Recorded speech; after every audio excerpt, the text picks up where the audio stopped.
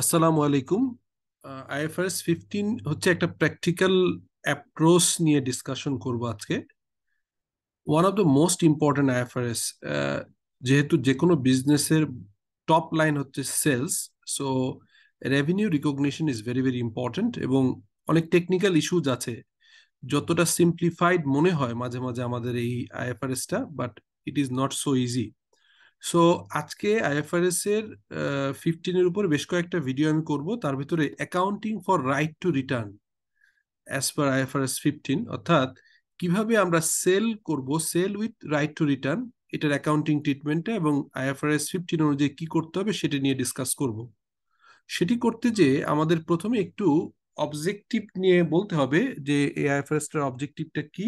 So একদম IFRS এর প্যারা তুলে দিয়েছি to establish the principle that an entity shall apply to the uh, to report useful information to user of the financial statement about the nature, amount, time, and uncertainty of revenue and cash flows arising from the contact with customer. অর্থাৎ আগের যে IFRS is eighteen এবং IS eleven ছিল, সেখানে আসলে revenue recognition এবং construction contract এই দুটো মূলত, দুটো আইএস মিলে একটা আইএফআরএস হয়েছে। আরও বেশ কিছু এসআইসি ফ্রিক ছিল, সেটিও এখানে মার্চ করে গেছে। সো আসলে revenue রিকগনিশনের nature and nature of contract is very important টাইমিংটা কখন uncertainty of revenue and cash flow of contract is very important these are the basic principle এবং আমি আপনাকে বলি যে IFRS fifteen is basically the principle base IFRS like other IFRS so যেমনটি বলছিলাম IS eleven eighteen SIC thirty one এবং IFRIC thirteen eighteen এবং fifteen বন্ধ হয়ে first of January two thousand eighteen থেকে আমরা রিপ্লেস হয়ে গেছে এবং একটা সিঙ্গেল গাইডলাইন আসছে, সেটা হচ্ছে আইএফআরএস ফিফটিন এটি একটা প্রজেক্ট ছিল দুই হাজার দুই সাল থেকেই হচ্ছে আইএসবি এবং আমাদের আইএফআরএস ফাউন্ডেশন জয়েন্টলি কাজ করছিল এবং একদম সিমিলার স্ট্যান্ডার্ড হচ্ছে আমাদের অ্যাকাউন্ট আমেরিকান অ্যাকাউন্টিং স্ট্যান্ডার্ডেও ফলো করা হয়। সো এখানে আসলে এগুলো আমি অলরেডি বলেছি অ্যাপ্লিকেশন অ্যাপ্লিকেবল হবে না, হচ্ছে আইএস সেভেন্টিন যেটি এখন আইএফআরএস সিক্সটিন হয়ে গেছে, একটু কারেক্ট করা দরকার ছিল। তো এই জায়গাগুলো ছাড়া এখানে যে মেনশন করা আইএফআরএসগুলো ছাড়া আর সবকিছু অ্যাপ্লিকেশন এখানে চলবে। সো আমরা এই ডিটেইলটা আর একটা ভিডিও থাকবে। আমি এখন মূলত যে ডিসকাশনটা করব ডেফিনেশন নিয়ে খুব একটা কথা বলব না। আমার মেইন এরিয়া হচ্ছে যে পাঁচটা স্টেপ একটু কুইকলি বলে যাই। আইএফআরএস ফিফটিনের যে মডেলটা আছে, সেই মডেলে আমরা বলা হচ্ছে revenue recognition model identify the contract কন্ট্রাক্টটা with customer এটা রিটার্ন হইতে পারে। এবং ভার্বাল নন ভার্বাল যে কোনোভাবে হতে পারে but rules and regulation customs মেনে এটা করা হয়। আমরা জানি যে একটা বাই সেল করলাম, হয়তো কোনো রিটেন এগ্রিমেন্ট হয় নাই, কিন্তু দেশের আইন অ্যাপ্লিকেশন অ্যাপ্লিকেবল অটোমেটিকলি হয়ে যায়। যেমন অনলাইন সেল বাইতে সো সেইভাবেই কিন্তু এটা কন্ট্যাক্ট আছে between a seller and buyer identify the performance obligation in the contract determine the transaction price যখনই আমি একটা কন্ট্রাক্ট আছে কি নাই সেটেল হয়ে গেল তখন অব্লিগেশনটা কি? আপনার বায়ারের অব্লিগেশন হচ্ছে যে উনি প্রপার পণ্য পেয়ে টাকা দিয়ে দিবেন। আর মূলত সেলারের অব্লিগেশন হচ্ছে অ্যাজ পার দ্য কন্ট্রাক্ট নির্দিষ্ট সময়ে নির্দিষ্ট পরিস্থিতিতে নির্দিষ্ট কন্ডিশনে প্রোডাক্ট ডেলিভারি করবেন। এবং একাধিক যদি হচ্ছে এবং এরপরে ইস্যু থাকে হচ্ছে যে আসলে ট্রানজেকশন প্রাইসটা কত হবে? অর্থাৎ যে সার্ভিস অথবা যে প্রোডাক্টটা বায়ার সেলারকে দিলেন, সেটির ট্রানজেকশন প্রাইসটা কত হবে? কত মূল্য? মানে পণ্যের বিনিময় মূল্য। এবং তারপরে আসে যে ট্রানজেকশন প্রাইসটা যদি একাধিক ট্রানজেকশন একসাথে হয়, অর্থাৎ সিরিজ অফ ট্রানজেকশন অথবা একটা বান্ডেল ট্রানজেকশন হয় বা বান্ডেল বায়ার সেল থাকে, সেই জায়গায় allocation of transaction price to the performance obligation ধরেন তিনটা অব্লিগেশন আছে। আপনি একটা প্রোডাক্ট সেল করলেন, সাথে ওয়ারেন্টি দিবেন এবং ইনস্টলেশন করবেন। এই তিনটার সেপারেট আপনার ট্রানজেকশন প্রাইস অ্যালোকেশন করতে হবে এবং ফাইনালি রেভিনিউ রিকগনিশন হবে as per performance obligation satisfied তো এইভাবে কখন হবে, কীভাবে কীভাবে হবে, এই ফাইভ স্টেপ রেভিনিউতে ডিটেইল বলা আছে রেভিনিউ রিকগনিশন ক্রাইটেরিয়া এটি নিয়ে আমি ডিটেইল আরেকটা ভিডিও ইমিডিয়েটলি পোস্ট করব। এখন আমার যে ইস্যুটা সেটা হচ্ছে আমি চলে যাচ্ছি সরাসরি যে আমাদের আজকের যে ডিসকাশন ইস্যু সেটা হচ্ছে রেভিনিউ রিকগনিশনের কিছু কিছু ইস্যু থাকে যেগুলো আসলে আপনার একটু ভিন্নভাবে ট্রিট করা হয়, যেটি আলাদাভাবে বলার দরকার আছে। তার ভিতরে consignment sale sale with right to return এই sale of right to return হচ্ছে আজকের ইস্যু আমি sale of sale of right to রিটার্নে চলে যাচ্ছি। কনসাইনমেন্ট সেল নিয়ে আরেকটা ভিডিও করব, খুব সিম্পলিফাইড হবে। So accounting for right to রিটার্নে আমরা বলা হচ্ছে যে কাস্টমার বা consumer unconditional option to return the purchase অর্থাৎ আমরা জানি আমাদের দেশে ভোক্তা অধিকার আইনে এবং বাণিজ্য মন্ত্রণালয়ে অনলাইন বিজনেসে অর্থাৎ আমাদের ই কমার্স সাইটে বলা আছে যে আপনি যদি কোনো প্রোডাক্ট অনলাইনে অর্ডার করেন, আপনার বাসায় এসে যদি প্রোডাক্ট পছন্দ না হয় you can you have the option to return so এই ধরনের আনকন্ডিশনাল যদি প্রোডাক্ট ফেরত দেওয়ার কোনো অপশন থাকে, তাহলে এইটা অ্যাপ্লিকেশন হবে।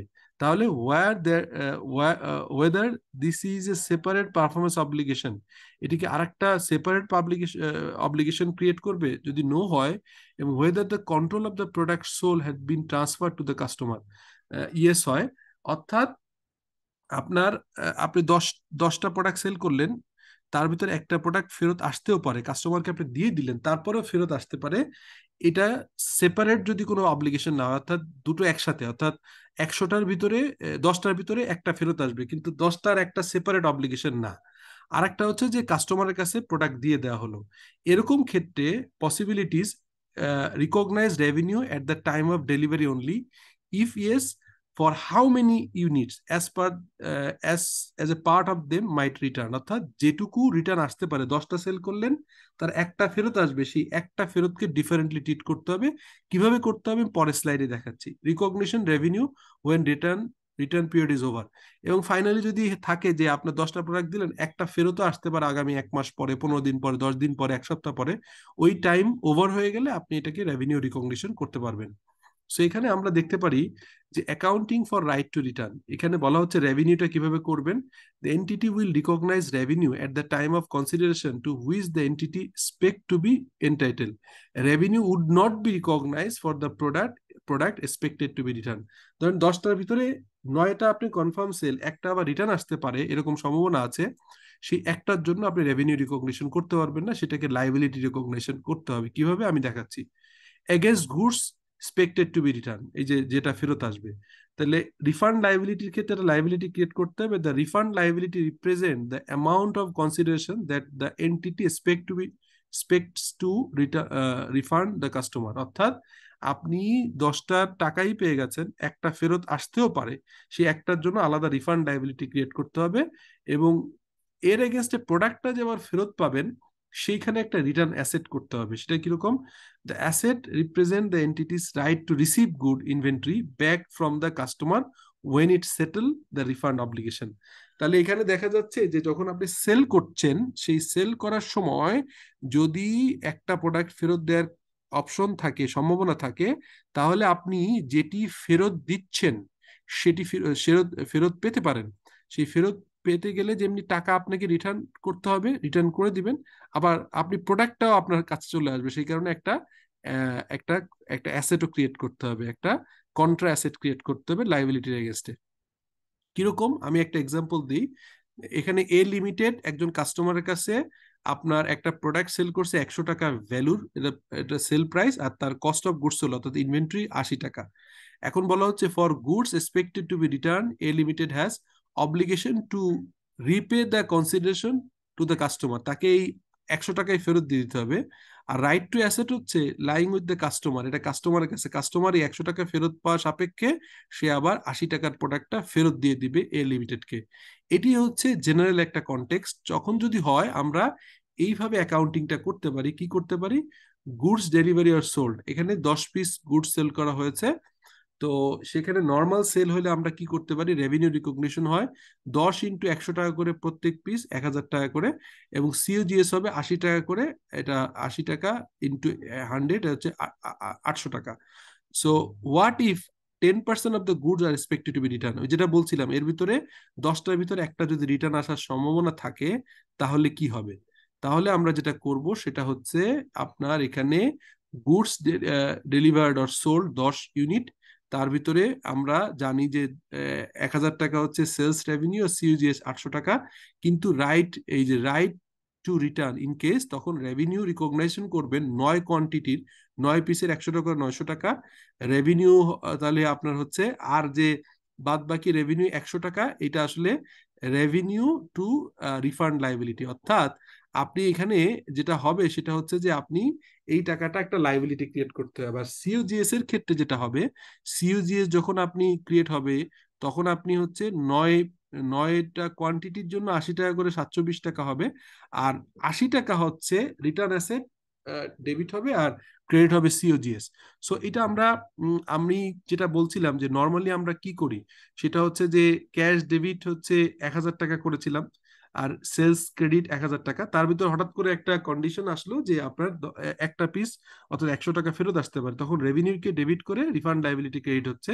আর এই এই লাইবিলিটির এগেনস্টে আর একটা অ্যাসেট ক্রিয়েট হচ্ছে বিকজ আপনি আবার যে কে ক্রেডিট করে ডেবিট করছে return asset so this is the accounting for this statement so আমরা এই জিনিসটা এখান থেকে খুব ক্লিয়ারলি বুঝতে পারলাম। আজকে আর অন্য ইস্যু অর্থাৎ আমরা আরও অনেকগুলো ছোট ছোট ইস্যু আছে রিপার্চেজ এগ্রিমেন্ট কনসাইনমেন্ট সেল এগুলো আজকে ডিসকাশন করলাম না। আজকে সিম্পলিফাইড ওয়েতে accounting for right to return ডিসকাশনটা করলাম। থ্যাংক ইউ টেক কেয়ার আসসালাম